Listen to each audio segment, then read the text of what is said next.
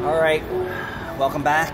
This is the uh, 13 Cadillac SRX 3.6 um, flex pipe repair, and there's three flex pipes. We're gonna call this triple play.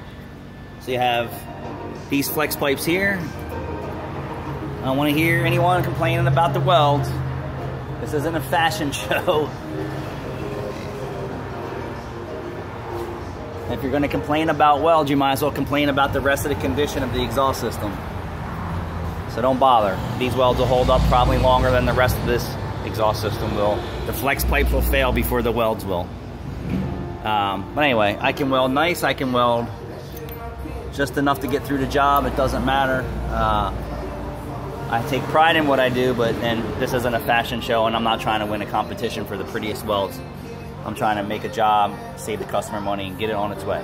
Anyway, so you can see here, just like the factory, it's just new. Just like the factory, just new, and saving this customer thousands of dollars. You would need a uh, wide pipe cat assembly to fix your flex pipes in majority of regular shops who do not specialize in exhaust system replacement. That's all they can do is sell you the most expensive thing because that's all they know.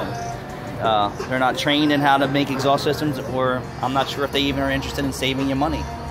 Um, but yeah, I'm finished with it. It looks great. All right, check it out. Bing, bing, bing, bing, bing, bing. Now I'm gonna leak check it and kick it to the curb. Yep. I see it.